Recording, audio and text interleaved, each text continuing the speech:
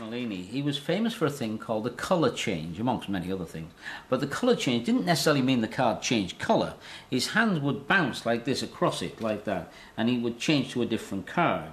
All right, but I, I couldn't figure that out because Max couldn't have done that because his hands were so small. They were only this big, size five glove. I don't think he used that method or the one that came out in 1905, where he said, "Look at that card with four of spades. It would change to the eight of clubs. And his hands would still be empty." If he'd been around in the 1970s, which he wasn't, when a fellow came along called Paul Daniels and came up with that one, which is very clean and leaves absolutely nothing anyway. I, I don't think he could have done that because of the size of his hands. So the only thing that I, in my research was able to come up with was there was a Dutchman around at the time called Okito, and he would do this. And it was a kind of chung, and the card would change. And Malini must have done that one, I think because the only one his hands would fit. But we'll